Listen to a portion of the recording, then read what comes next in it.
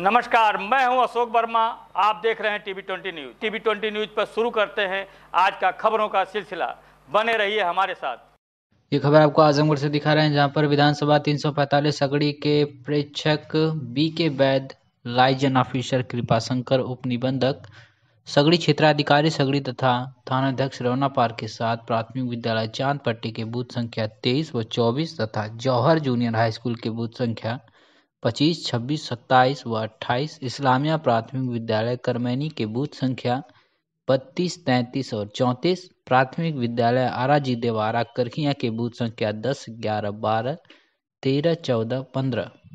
प्राथमिक विद्यालय रोशनगंज के बूथ संख्या तीन व चार आदि के बूथों से संवेदनशील अति संवेदनशील एवं अन्य सामान्य बूथों का निरीक्षण किया गया, तथा मूल सुविधाओं के संबंध में मौके पर उपस्थित संबंधित लेखपाल व बीएलओ को आवश्यक दिशा निर्देश भी दिए गए, तथा मौके पर उपस्थित जन सामान्य से परिचर्चा भी की गई।